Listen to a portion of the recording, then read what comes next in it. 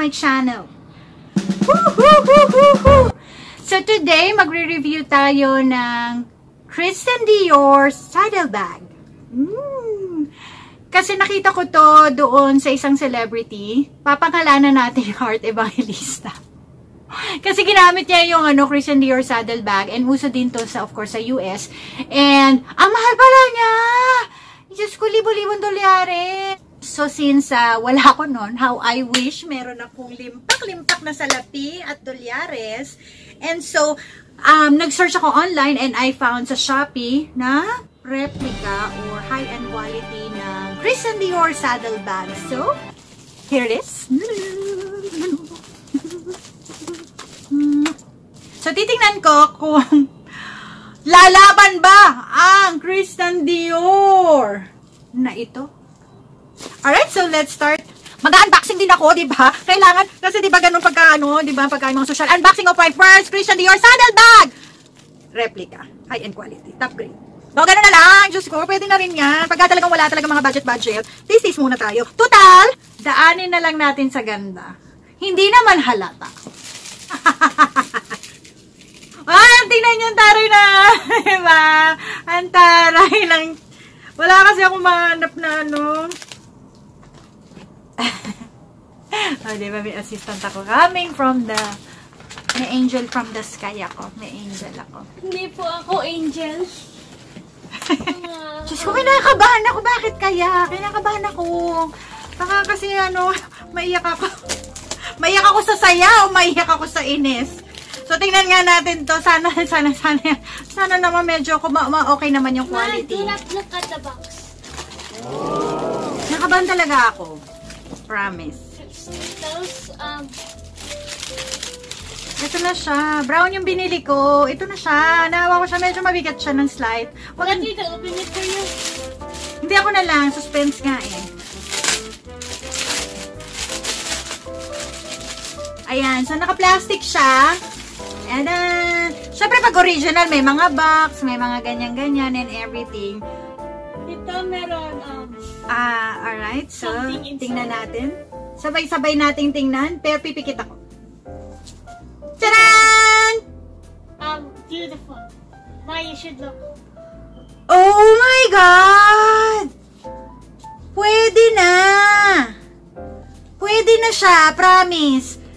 Oh, hindi siya yung katulad of course, yung, alam ko naman yung mga super high-end na leather. Alam ko naman how it, kaya lang sa halagang 750 pesos ata to, parang gano'n. Pwede na siya, guys. So, tingnan nyo. Oh, ang taray, oh. Pero syempre, sigurado yung original, iba yung pagkaka-leather niya. Kasi ito parang, ano lang,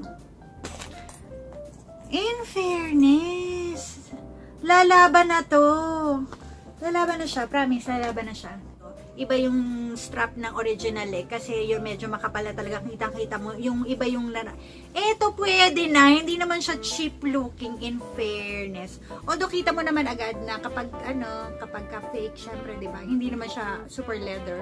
Mahal talaga leather, pero sa halagang 750 pesos, eh pwede na siyang pang, pang effect-effect lang. Ay, Diyos ko. Dadaanin ko na lang sa ganda!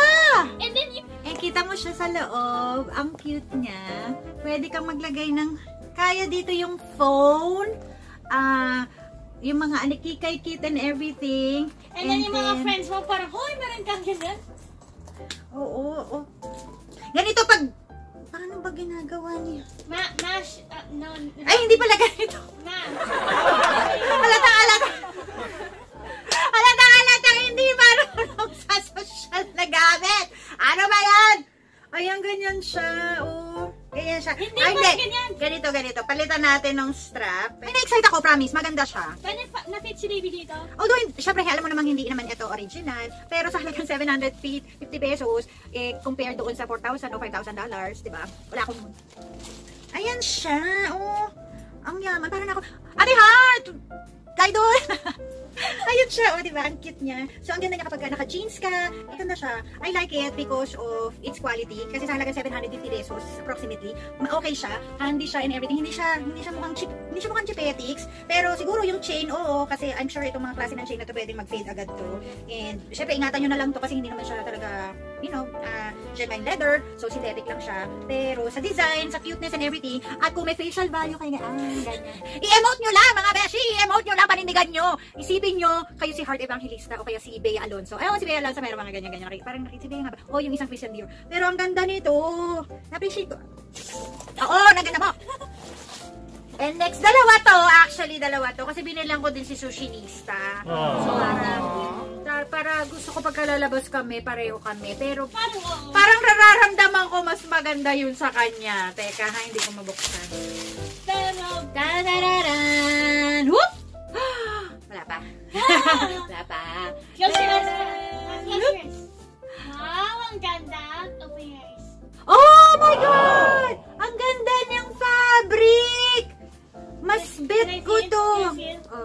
Yay. Yay. Wow. Mas bet ko to kaysa dito sa leather type. Oo. You can use, Mas gusto ko to. you can use that. Mas gusto ko to kasi ah yung fabric niya. Oo, parang punta ng unan. Hindi, charot lang. Hindi, maganda siya. Promise, maganda. Yun nga lang, meron sinulit. Kailangan putulin yung sinulit. Ah, meron naman itong yung parang Oo, pwede natin putulin sa pamamagitan nito. Putulin, i-repair na natin. Tarahan! Whoop! Ay. Hindi magputuloy-tuloy. ang galing mo ma. Pati ba naman to? Fake din? Ang ganda niya. So, guys, ayan siya. So, may D for... Ay, kaya lang na ano, natupi. Ayan, ah, mahalata na hindi siya pure leather. Ay, ang taray ng giloob. Oh, ganyan siya. Ang ganda. Maganda to. At guys, may free! May free papel. Oh, wala. Sa 750 pesos, wag na kayo umasa na may free. So, ang ganda. Ay, ang ganda din ng ano. Oy, ayan yan, oh. Wow. Yan yung strap niya. Ito, ito yung bag na gamit ni ano ni Heart Evangelista. Kaya ito yung binili ko. Kasi idol na idol ko yon. Not really, yung super idol. Tsaka si Bea Alon. Ang ganda talaga. Okay, Promise. mami, try it on. Itatry ko daw, sabi ng anak ko. Ang cute niya talaga, promise. Ang daming malalagay sa loob, oh. Yung mga anik-anik nyo, oh. Tapos yung kung manonood lang kayo ng sine, kung mag mag-mall lang kayo and everything, tapos kung mag-grocery kayo. Pero hindi ko lang gusto yung strap kasi halatang halatang cheap and of course fake siya. So, what do you expect? Ayan, ang ganda.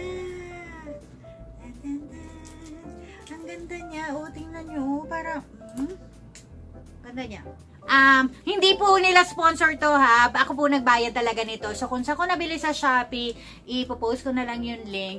So, in fairness naman, of course, yung mga hardwares, hindi siya yung talagang tipong yung makikita nyo sa original talaga naman makakapal na talagang magaganda yung mga hardwares. Please expect, I'm pretty sure na mag-fade din agad-agad to. Hindi katulad ng mga original. And yung fabric itself, maganda naman yung fabric. Ah, mahilig din ako sa mga bags and all. So, when I touch it, hindi naman siya yung talagang tsaka fake. Promise, hindi siya yung tsaka fake. Now, in terms of sa strap, medyo okay naman din na yung strap niya.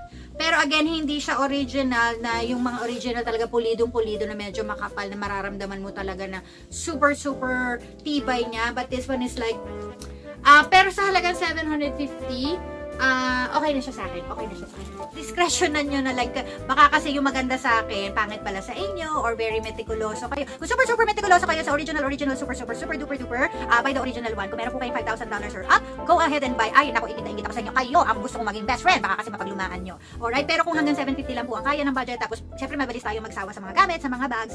So, pwede na siguro tong 750 pang pumol more. Siguro naman wala namang magtatanong sa inyo kung fake ba yun o ano. Ang mahalaga is mabuti ang inyong kalooban. Yun lang naman ang importante kung clean ang heart nyo, conscience nyo, and love, love, love for everybody. Alright?